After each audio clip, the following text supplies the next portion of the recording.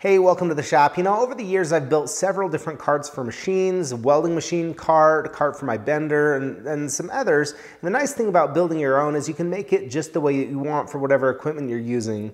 I built this little cart today that uh, has a hopper and a bucket to catch some of the chips from my chop saw. So I'm going to show you how I built that, but along the way I'll show you a simple three-step process to be able to build carts really simply for whatever kind of machines you have. Let's go ahead and get started. In order to build this, I picked up some inch and a quarter or 30 millimeter square tubing and sheet metal, all in 16 gauge. I've cut everything to size, but I'm going to walk through in a four-step process like I have laid out here, the different pieces that you'll need so you'll know what size to cut them to. The first part I need is a rectangle for the top of the frame, and I'm going to go ahead and measure the chop saw that's going to sit on here to be able to build that rectangle and cut all my miters. I'm using this same chop saw. It's a unique one from Evolution Power Tools they just came out with and sent to me. It's a uh, chop saw head on a heavy duty miter saw body. Now with the pieces cut here for this top rectangle, I've created a couple of references on my fixture table. If you don't have a fixture table, you can use a fabrication square like this or even just a speed square. I've built a lot of really nice frames using nothing but uh, speed square, so it works fine.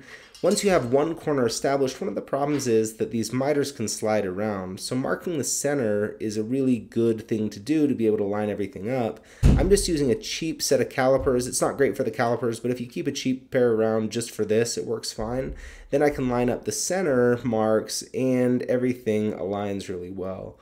I'm going to clamp it all down, which really will help with distortion and make any final adjustments so that everything is parallel and measure corner to corner to make sure it's square. And everything's looking really good.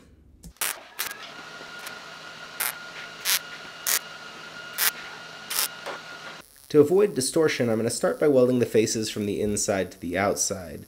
After both faces, I can go ahead and weld the outside corners, saving the inner fillet welds for last. I'm going to make the lower rectangle a little bit smaller to clear this portion of the foundation and let it sit against the wall.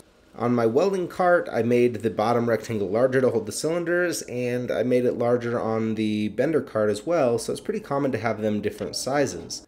I put the lower rectangle together in the same way and ground the corners to allow my uprights to be able to sit flat. Next, I just have four pieces to sit in the corners, as you'd imagine that they would. Now, it's important to get it straight in two different directions. One way to do this is to use a speed square and tack, and then switch and do the other direction. Um, since I have a fixture table with this upright reference, I'm just going to use that for each of them, clamp it in place, and get some tack welds before I flip it over and put it onto the top. I like how things are lining up here. I'm going to start off by putting a single tack at each of the front corners and after I have both front corners tacked together I can go ahead and measure to the back to make sure that this is going to sit parallel. And with that tacked in place on both sides, I can double check everything for square and it's looking really good. So I'll add some additional tacks before welding it out.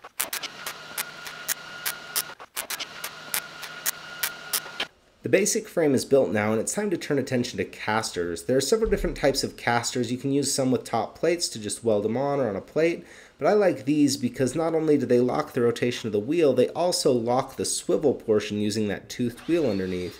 So I'm going to cut some angle braces here to hold them in place and kind of share that load and just drill and tap a few holes to be able to thread them into.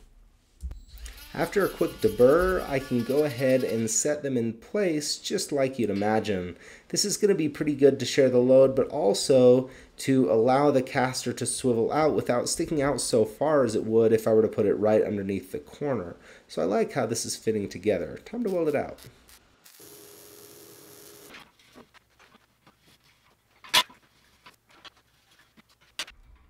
Well, everything rolls smoothly and seems pretty nice and square.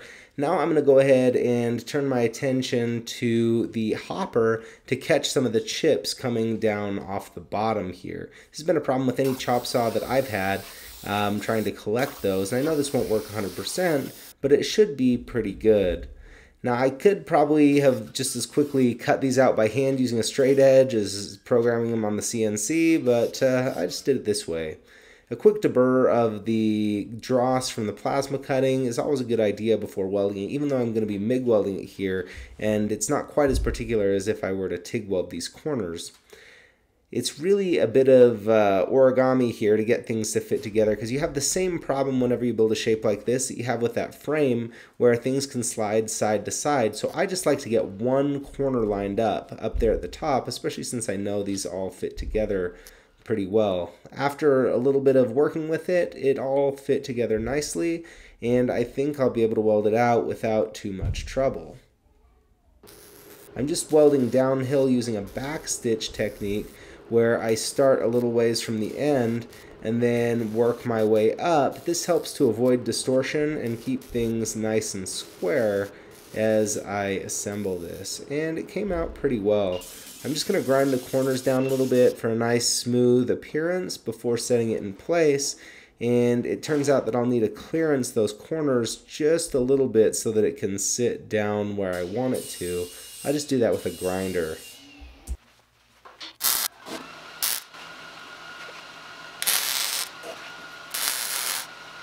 I'm pretty happy with how this is sitting so far. Now I just need a way to catch all the chips that come down out of this big funnel.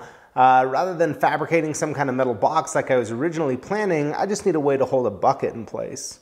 I'm cutting a couple cross members out of some 1 inch or 25 millimeter square tubing that I had laying around and then I'm going to weld on some little pieces of round bar to act as stops and hold the bucket in place.